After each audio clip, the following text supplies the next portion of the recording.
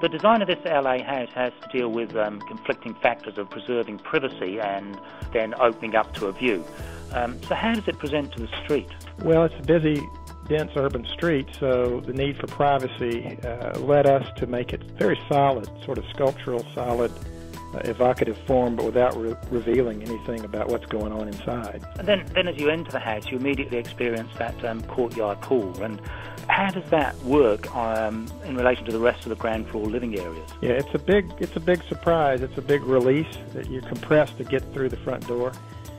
Uh, and when you get to that courtyard, it opens up to the sky and out through transparent surfaces to the water beyond. And it really becomes a hub that everything circulates around and it opens up to all the um, to all those ground floor living areas. Yeah, at the touch of a button, sort of the glass doors uh, they they slide pocket back into walls, so suddenly the house is the public part of the house is all indoor outdoor. It takes advantage of that really nice Southern California environment. And that happens for the kitchen and the living areas? Kitchen and living and the dining. And on the second level, um, how have you organised the space there?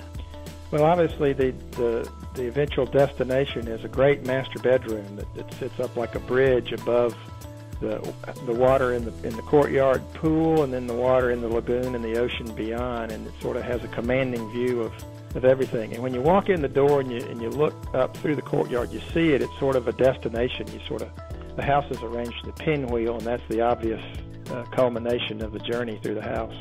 At the front of the house, you've got a pretty blank face because of uh, dealing with the privacy, but at the back of the house, you've got a lagoon and, and a private jetty. How does your design respond to that setting? Well, it's a wonderful setting, and so the logical thing to do with the house is to open to it as much as possible. So, in fact, the house dematerializes as much as it can and uh, opens uh, at both levels for both the air uh, and the view and the light. So again, you've got a, you've got big glass doors that, that pull back to, to give you that indoor-outdoor flow. That's right. So you can be in the living room or in the bed, and you know to be unencumbered with your view all the way out to the Pacific Ocean.